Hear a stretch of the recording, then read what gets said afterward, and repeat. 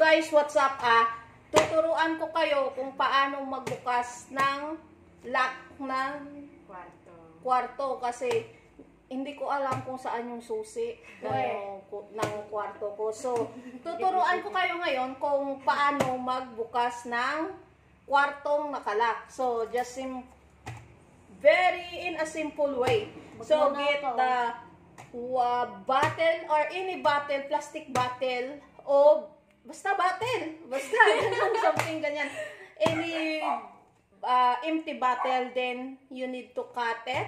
Uh, Siyempre, if, if you want to cut it, you have a scissor, right? Uh, so, so, then, siyempre, ganun, di ba? So, siyempre, kaya nga natin gugupitin, may scissor tayo, then a pla- uh, empty plastic bottle. Sana So, all English! So, sana all daw English. So, first you need to cut it. And then, so first we need to cut it uh, like this. Ay, Siyempre, ayaw. ano lang, ah, ganyan. Ayaw. Putulin natin yan. So, papakita ko rin sa inyo guys kung paano mag, ano, paano magbukas talaga. Para, just in case na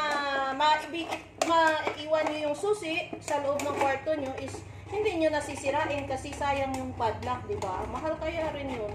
So, natutunan ko lang din to. So, dahil natutunan ko, isi-share ko sa inyo uh, in a simple way. So, ganyan. Mag-cut tayo ng ganyan kahaba. So, ganyan. Nipis. Hindi, kaya niya na to. So, ikakat natin siya ng ganyan. So, ito. Ito, gawin yung iniyan. So, ganyan. Arilo. Ano nga? Basahan nga, Jane, please. So, kailangan nakakat siya ng ganyan. So, tapos, ikakat siya natin ulit ng ganire. Ganire ba? Tapos, ganyan lang siya. Try natin siya kung kaya niya na. Basta, ganyan lang ah. Ganyan lang. Basta, ini empty bottle naman eh. Pwede siya. Basta, si Taba, alo, kontrabido. Nag-English nga ako eh. Trying hard, Jay. Huwag ka mahiga. Huwag ka kasi magulo. So, yun, ganyan, guys. Yan. Ganyan lang siya kaliit, guys. So, ngayon, ito, try natin kung makakayang buksan ito. Ganito lang kaliit. Pero, mostly is na itry ko na. So, para gusto kong matutunan nyo rin, isusyo it ko sa inyo. So, okay, guys. Uh, just wait for a while.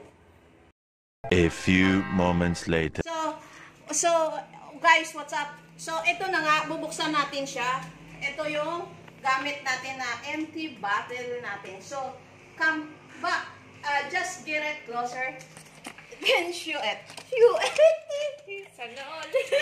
so, ito guys, ipapasok lang natin siya dito sa, ika, ba, ba, issue mo ba? Dito sa pinakagilid ng Pinto. ng pinto. So, then you need to slide you need to slide it slowly.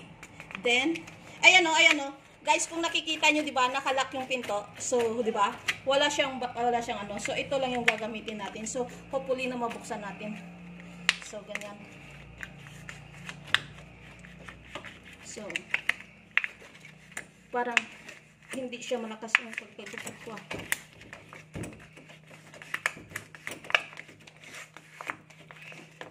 Matigas. Bismillah. So, let's start. Basta guys, mabubuksan natin to tiwala lang. Kasi, ilang beses ko na to ginawa eh. Medyo matagal lang. Oo.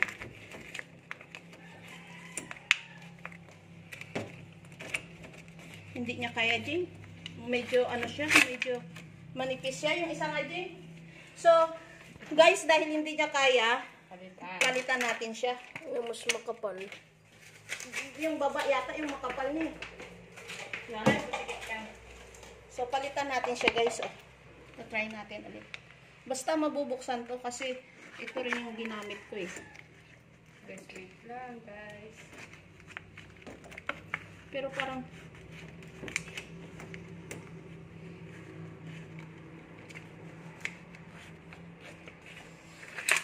Pero ayaw ah. Ba't tayo lumit yung ano niya? Umutot ka. Ah. Ayaw eh.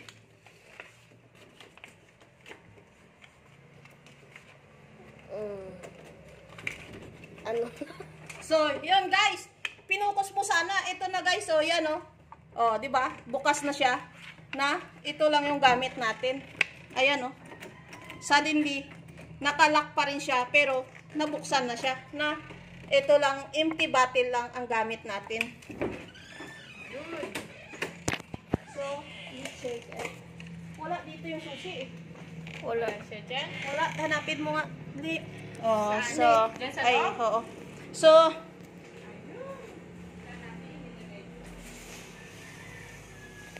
ayun na nga guys, ah, kung, nasasaks kung nasaksihan nyo, nabuksan natin siya na gamit itong empty bottle na ito.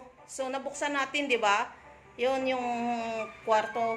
Yun no, yun yung kwarto. O, ayan o, kung nakikita nyo, bukas na siya. Na ito lang yung gamit ko. So, hopefully na nakatulong po ito sa inyo kung paano magbukas ng kwartong sarado na hindi nyo nag, nasisira yung ano yung pintuan nyo. So, thank you guys for watching and uh, before that, don't forget to like and subscribe my YouTube channel. Uh, hopefully na nag-enjoy kayo at may natutunan kayo sa isinare ko na video. Thank you and God bless.